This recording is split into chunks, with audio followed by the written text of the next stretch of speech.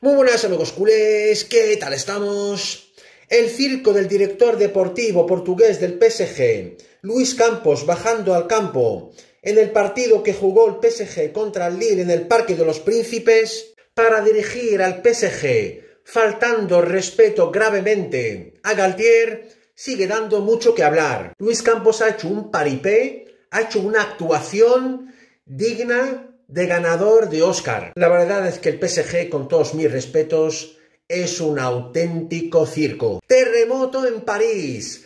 Atención a esta noticia bomba de última hora.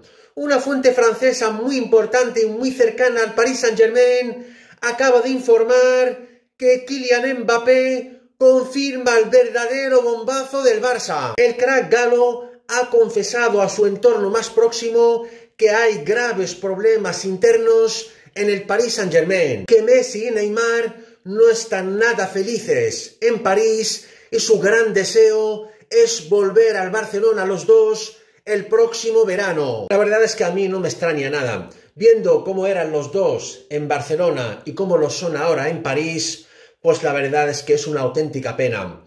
Y volver a tenerlos los dos en el Barça la próxima campaña sería un auténtico lujo y un auténtico bombazo para nuestro querido Barça.